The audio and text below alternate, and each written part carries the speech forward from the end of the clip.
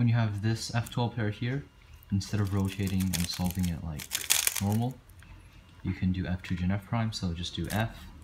then pair it up, and insert. So again,